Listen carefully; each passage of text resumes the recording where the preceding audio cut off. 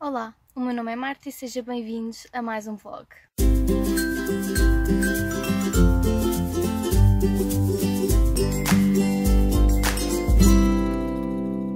Hoje é quarta-feira, estou na minha hora de almoço e uh, descobri que ainda não tinha começado o vlog desta semana, uh, porque agora não vou uh, fazer vlogs só de fim de semana, achei melhor começar a fazer uh, com alguma parte da semana, ainda não decidi se vou só fazer semanal, se vou apanhar também o fim de semana, vou ver como é que a coisa vai fluir. Então, os meus updates relativamente às minhas, às minhas leituras, uh, então, basicamente eu estou a ler News of Nightmares, aqui está ele, da Lainey Taylor, que é o segundo livro a seguir ao Strange the Dreamer. Um, como vocês sabem, é dos meus livros. Ai, a luz. Como vocês sabem, é dos meus livros favoritos. Eu li o ano passado e estava super, super entusiasmada quando soube quando é que ia sair o segundo, que saiu este ano, há pouquinho tempo. Uh, só que ainda não tinha conseguido pegar e quase todos os dias olhava para ele e pensava, ai, quando é que eu te vou ler? E então, entretanto, começou a maratona do Christmas in the Books 2, uh, ah, que se vocês quiserem ver os livros que eu quero ler, vou deixar aqui o link. Um, e então eu decidi pegar já neste, que é um dos calhamaços que eu escolhi para essa maratona. Também vou inserir este, este livro nas maratonas do Falling Stories e do livro Apólio. Não estavam na TBR inicial, mas eu de alguma forma vou conseguir lá inserir porque não, não consegui esperar mais e tive de ler. Tinha de ler antes do ano acabar. E agora estou um, numa altura muito complicada porque é a altura do Natal e eu tenho imensas coisas para fazer, muito trabalho. E eu sei que se calhar se pegasse noutro, provavelmente eu chegava à noite e não ia ter cabeça para ler, mas como é este, eu arranjo sempre um tempinho e sempre um bocadinho de tempo, um bocadinho de cabeça para ler. Portanto, eu já vou aqui. Vocês podem ver Portanto, já li 200 e poucas páginas. Isto tem 500. Portanto, eu vou quase a meio. Uh, e comecei a ler o fim de semana. No fim de semana, este fim de semana passou. Mas este fim de semana tive lente, para variar. Que eu agora, por isso, não consigo ter o fim de semana sossegado. Uh, portanto, também não fiz uma grande leitura, oficialmente quase que só comecei a ler na segunda-feira, não é? Estava bem de saúde. Uh, então, as, as minhas ideias uh, são muito simples. Estou a adorar o livro. Adorar o livro, eu não consigo parar de ler. as minhas horas de almoço, sempre que eu tenho um bocadinho, é para ler. E estou a ler muito rápido para quem anda com pouco tempo. Já li 200 páginas, mais de 200 páginas, portanto para quem anda com pouco tempo, até estou a ler bastante rápido. Portanto, também é uma escrita que se lê muito bem, muito rápido. Uh, eu adoro a escrita desta autora. É, é lírica, é linda, é... nós viajamos mesmo para o mundo. Isto é, é passado na cidade de Whip. Chama-se Whip porque a deusa do esquecimento, acho que é assim, uh, apagou o nome verdadeiro de, da cidade uh, a toda a gente portanto ninguém sabe como é que se chama a cidade, mas surgiu um nome em vez do nome verdadeiro que é o IP. Uh, e nessa cidade existe. Uh, eu não quero dar muitos spoilers porque isto é o segundo livro, mas basicamente existe, uh, existem os humanos normais e depois existe o Godspan, uh, que é, são os descendentes dos deuses. E são azuis e têm poderes. Mas esses poderes vêm de um metal chamado Mesardium. Uh, e no livro passado, uh, portanto, havia pessoas uh, que pensavam que os deuses estavam extintos.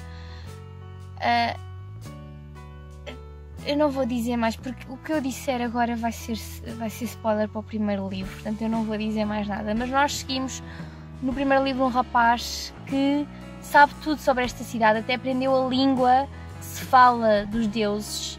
Um, pronto, sabe tudo, tudo, tudo, tudo, tudo, tudo. E depois é, é, tem um bocadinho azar na vida, coitado, mas ele é um sonhador uh, e consegue descobrir que tudo o que se pensa que é mito é verdade.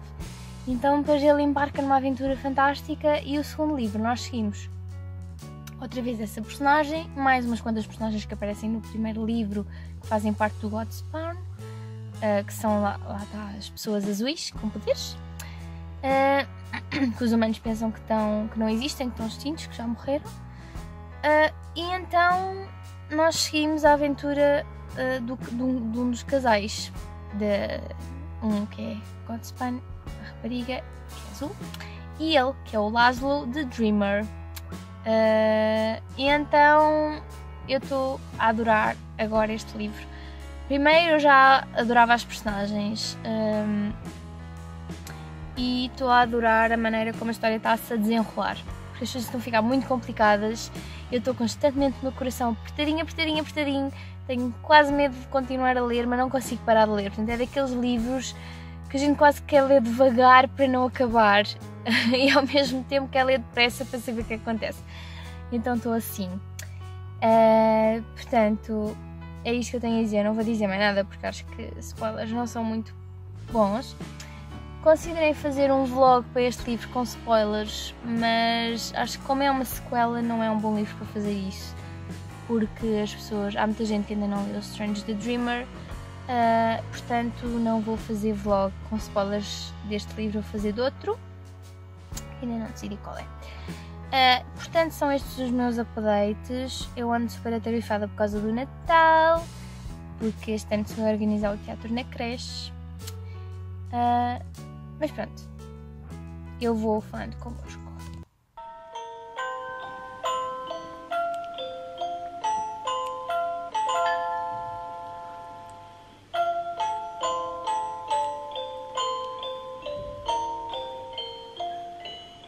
Gostas do comboio, Diana? Mãe. É a mãe, essa é a mãe.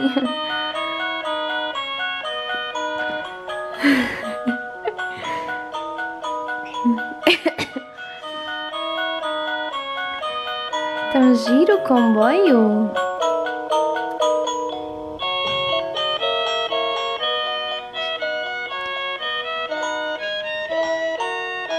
Está hipnotizada. Mãe,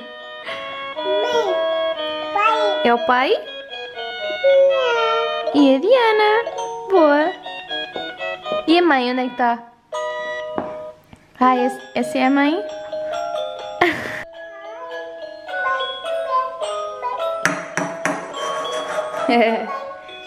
Abre!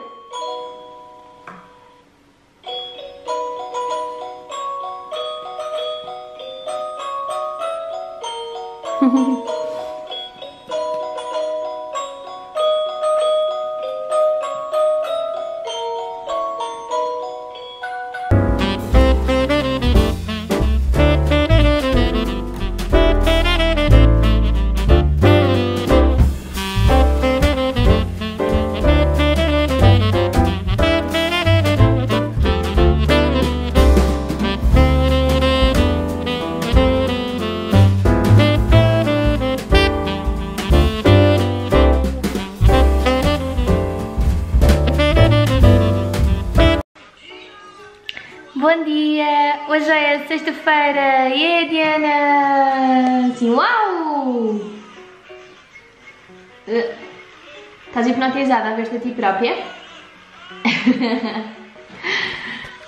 um, hoje é sexta-feira e uh, eu não tenho vlogado muito esta semana, sou honesta, mas eu não tenho tido muito tempo porque esta altura do Natal é muito complicado.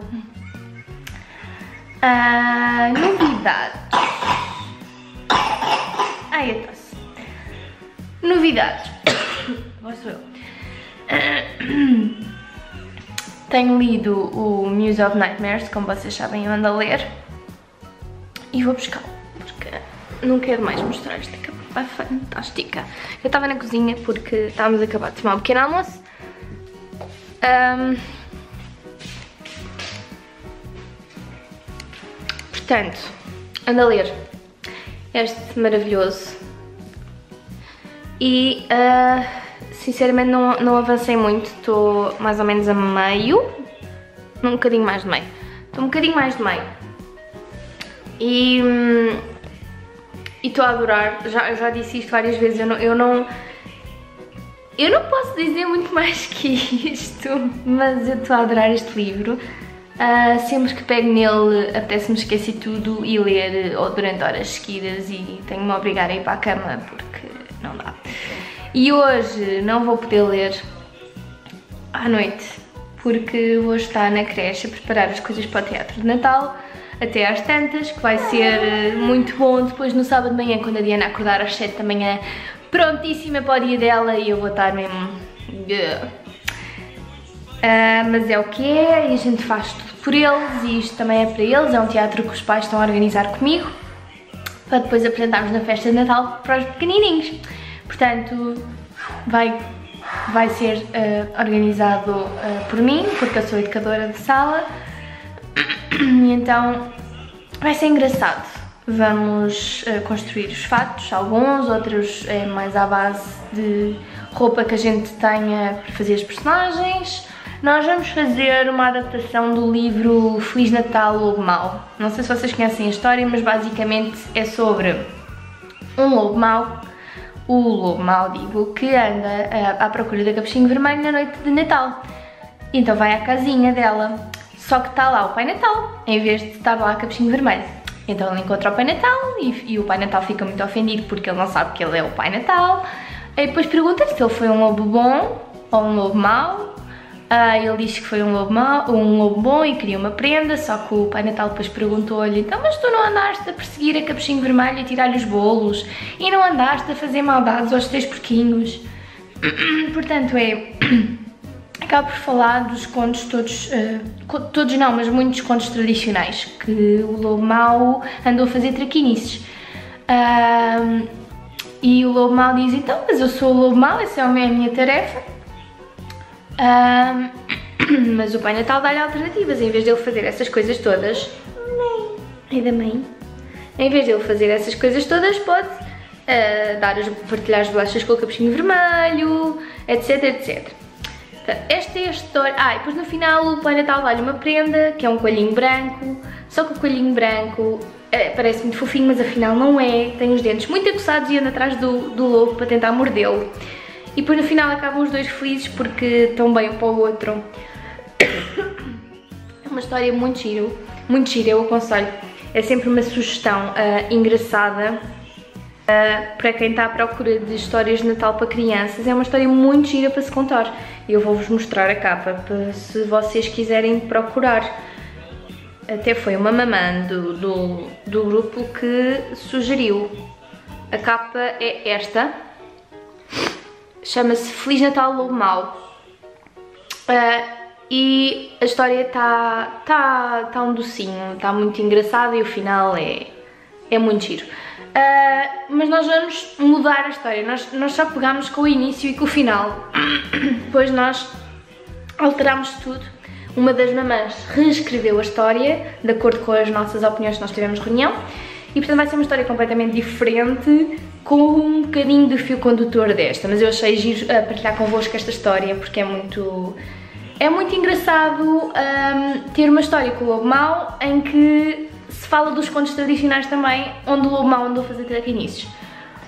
Portanto, se vocês quiserem espreitar ou ir à biblioteca buscar algo do género para contar aos vossos pequenininhos, é uma boa, é uma boa história. Tem a parte do Natal e tem a parte das traquinices, que é sempre engraçado nestas histórias para, para crianças. Um, portanto, estes são os updates relativamente à leitura. Uh, como vocês sabem, estou a amar o livro. Infelizmente não tenho muito tempo para ler, e pelo menos enquanto andar nestas andanças e hoje mal vou pegar nele, infelizmente, mas é tudo por uma boa causa e vai ser divertido, certeza.